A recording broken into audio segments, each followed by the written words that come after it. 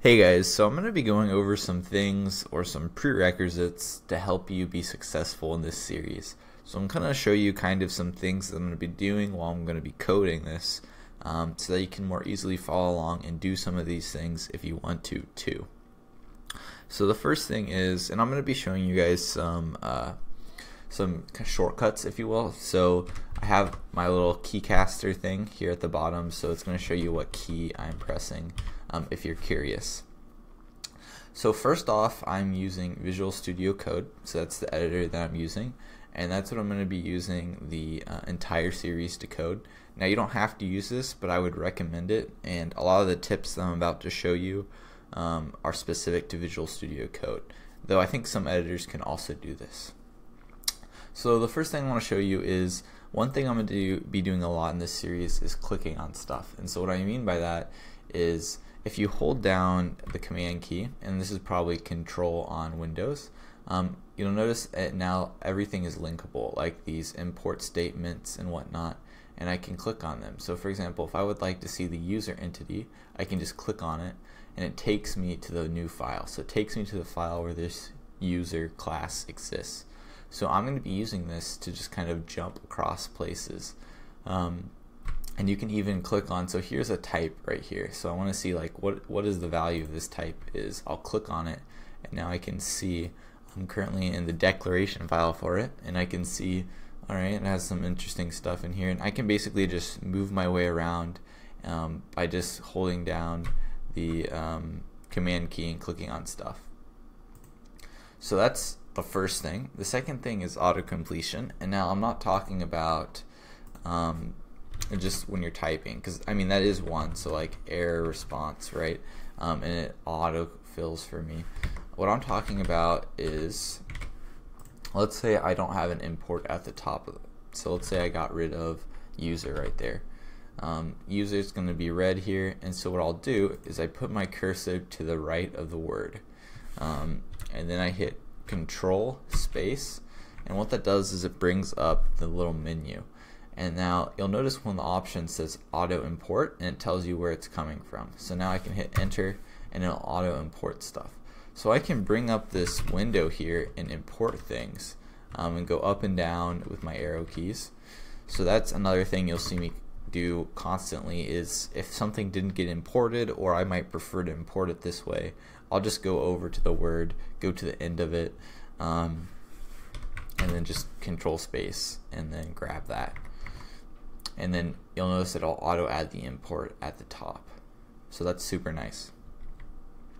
Um, the other thing I, I added this as just a kind of a fun tip because I'm going through some of the tips. I probably won't do this too much but if you click F2 um, you can refactor the name of a just a variable in the file. So if I want to call this um, error response instead um, I can hit enter and I'll go ahead and change um, error response throughout the entire file. I'm just going to undo that. The other thing is um, I'm going to be moving around files and renaming files. Now, um, Visual Studio Code just came out with a new feature that I really like. And uh, let's say I want to move this, this file, for example. So notice how it has a relative path uh, here and here. And then other files are probably importing this right?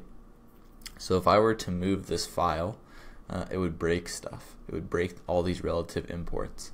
But Visual Studio Code now is a feature. Now you have to be using TypeScript 2.9 so make sure you're using that um, in your project and whatnot. And so when I move this file so let's say I move it up a directory um, what's going to happen is a little window pops up and it's like would you like to update um, and basically fix all the imports and I'll say yes. And what will happen is it'll fix all the relative imports. So now it didn't look like it fixed the ones um, right here but you'll notice it fixes the ones that are using it. So in this file and this file over here um, and we can just click save all if we want to. Um, so now if I move this back it'll then ask us again. It'll be like hey do you want to uh, update the imports? And so I'll just keep this window. This window you might see up if I move a file, and I'll just say yes to update stuff. Um, but you need to be on the latest Visual Studio Code and have the latest TypeScript to do that.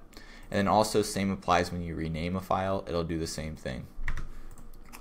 Um, Uh, the other thing, and oh, so another thing, if you don't want to be on the latest Visual Studio Code, what I used to use is a plugin called uh, Move TS. So sometimes the uh, moving is a little janky. Like you saw, it didn't update um, the, the, relative imports here.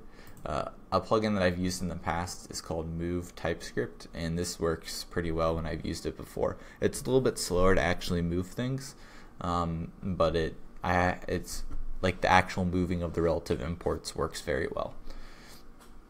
Um, all right, so next thing is the command palette. So we'll hop in over here.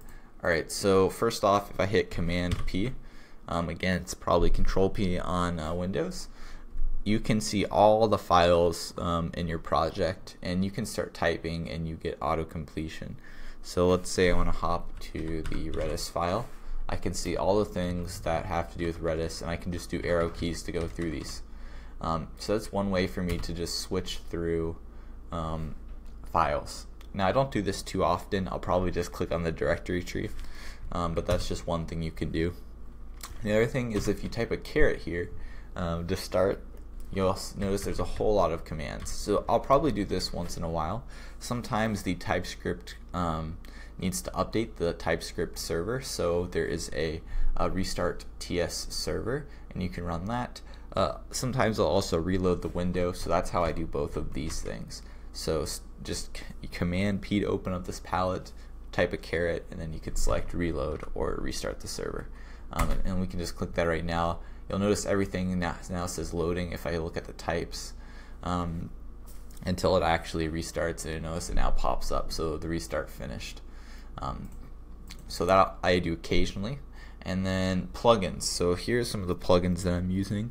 Uh, first is this colorizer. So this is kind of just an aesthetic thing.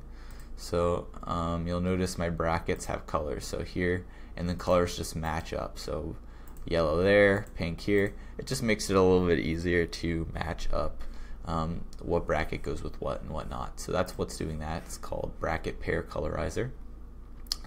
Um, these things won't really matter for this tutorial. Um, we're going to be using some GraphQL, so if you'd like to get um, the syntax highlighting. So let me open up a GraphQL file, and if I wanted to, I could do command palette here. So I could do star.graphql, open up a schema. So notice how there's color right here, it's green and blue. This is because of that plugin. So if you want that, you can grab that. Um, I talked about the Move TypeScript plugin. The other thing is my code is going to be automatically moving around when I save. Um, and this is thanks to Prettier. Uh, so what this does is it formats my code. So if I make it ugly, so like for example, I don't know.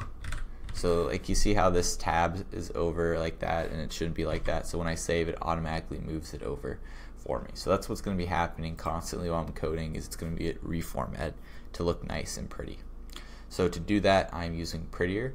Um, and I think, I don't know if I have any preferences that are specific to this in like TypeScript, for example. Um, I do have um, the editor format on save to be true, so that's what runs prettier every time I save. Um, and then other than that, I don't think I have any settings that make prettier work. I think it just works by default. Um, and then Python doesn't matter for this. I am using the TSLint plugin. So this is uh, for TSLint, of course, uh, to get to work with Visual Studio Code, and you'll see like little things, um, imports or whatnot are not working. So if I got rid of that and we pop up, I guess this is a TypeScript one. Uh, I can't think of any linting things, but basically you'll lint your files and you'll see stuff. Uh, this is one you're going to want to use because we're going to be using TSLint. Uh, and then lastly, Vim. So I don't know, you probably, if you're not aware, uh, you probably see me kind of just like moving around here with keys. So J, J, J, K, K, K, K to move around. Um, this is using Vim, and I'm using the Vim plugin. So this is where a lot of my hotkeys um, and shortcuts are coming from. Uh, if you see me like just moving around the keyboard pretty quickly. All right, and then lastly, I'm going to be using two um, projects that basically I've already created um, in this. So I'm going to link them in the description below. And then also I did a video on them if you want to see how they're made. But the first one is just a very simple. It's a Yarn workspace. Um, and we're just going to take, uh, and I also built a GraphQL TypeScript server already, and that's actually what this project is, um, a boilerplate for it. And I'm just going to link you guys to both of those. And the first thing that we're going to be doing, and I guess we'll be doing this tomorrow, is uh, putting the GraphQL server boilerplate, um, get to work with the Yarn workspace.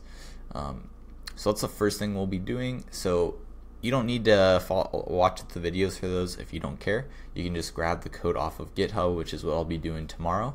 Um, otherwise, if you'd like to see how they're made, I'll link the videos for both of those. And yeah, that's it. So those are all the things you're going to be seeing me do um, throughout the whole series. Um, and I'd recommend, uh, again, using Visual Studio Code and getting used to some of these things because uh, they help you get a lot more efficient uh, when you're coding and kind of just be able to pop all around to do a lot of different things. Uh, but yeah, that's it for this video, guys. Thanks for watching.